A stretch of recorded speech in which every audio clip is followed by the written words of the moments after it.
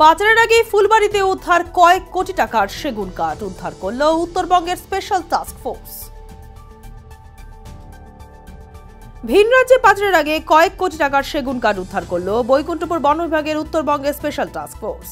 ঘটনায় আটজনকে গ্রেপ্তার করা হয়েছে। টাস্ক ফোর্সের প্রধান তথা বেলাকোবার রেঞ্জ অফিসার সঞ্জয় দত্ত বলেন, গোপন সূত্রের খবরের ভিত্তিতে বুধবার ভোরে শিলিগুড়ি সংলগ্ন ফুলবাড়ি এলাকায় অভিযান চালিয়ে তিনটি ট্রাক আটক করা হয়। তাতে তল্লাশি চালাতে উদ্ধার হয় প্রচুর সেগুন কাঠ। উদ্ধার হওয়া কাঠের আনুমানিক বাজার মূল্য দু কোটি টাকা। এদিকে ধৃতরা জেরায় স্বীকার করেছে কাঠগুলি নাগাল্যান্ড থেকে কলকাতা নিয়ে যাওয়া হচ্ছিল। এই কাঠ পাচারের সঙ্গে শিলিগুড়ির একটি চক্র জড়িত রয়েছে। ধৃতদের বৃহস্পতিবার জলপাইগুড়ি আদালতে তোলা হবে। আমরা তিন ট্রাক, ফুল ট্রাক, চোদ্দ চাকা, আমরা তিন ট্রাক টিক টিক ব্লক, যেটা নাগাল্যান্ড থেকে এসেছিল। ওরা বলেছে সেখানে বার্মা থেকে নিয়ে এসছে। ইললিগাল টিম্বার যার কোনো পেপারস নেই।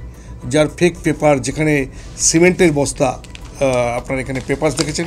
এই সিমেন্টের বস্তা, যে একটা ব্যাগ আছে, এখানে লেখা আছে যে এত ব্যাগ এত কেজি, পাঁচ- পাঁচশো কেজি।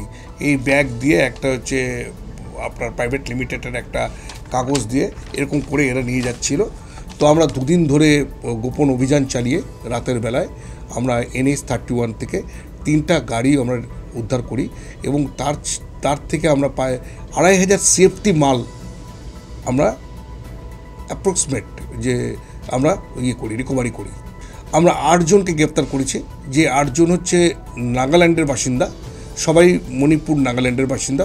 তারা এটা নিয়ে যাচ্ছিল হচ্ছে কলকাতার ডানকুনিতে কলকাতায় যাচ্ছিল এবং এখান থেকে এরা বিভিন্ন জায়গায়, এরকম আমরা ধরেছি ইম্পোর্ট এক্সপোর্ট করে এবং এই এই এই মাল আরবেও চলে যাচ্ছে, খবর পাচ্ছি।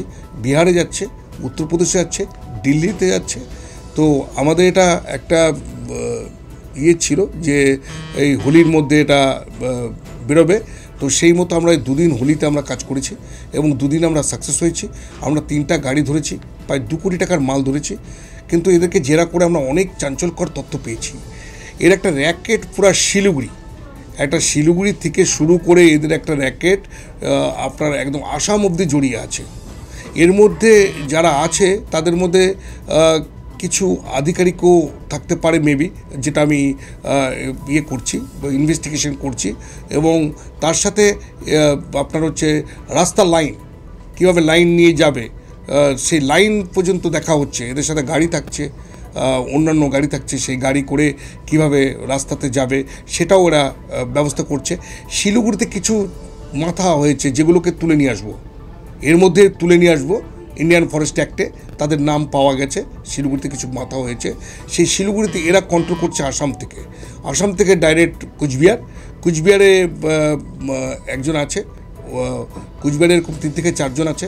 তারা শিলিগুড়ির সাথে কন্ট্যাক্ট করছে এবং শিলিগুড়িতে কিছু চাই আছে, যারা হচ্ছে এই মালটাকে ব্যবহার করার চেষ্টা করছে বাইরে দেওয়ার জন্য। এদেরকেও তুলে নিয়ে আসবে।